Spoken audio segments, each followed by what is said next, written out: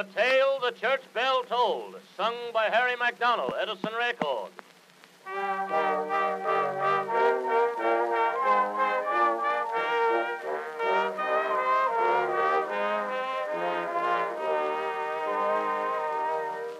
The choir was sweetly singing in the church across the way. The scent of orange blossoms filled the air. The bells were gaily ringing. 'Twas a happy wedding day. And all the world seemed free from pain and care. A blushing maiden slender was to be his future mate. His eyes were warm and tender as he whispered, Darling Kate.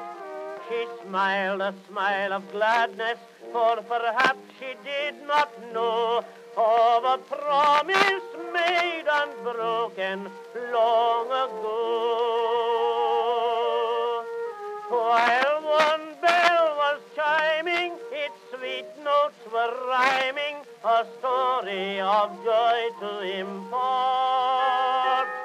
The other was tolling its sad notes unrolling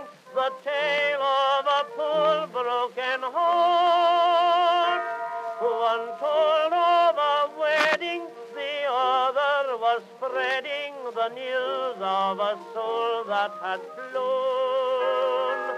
Two choirs were singing, two church bells.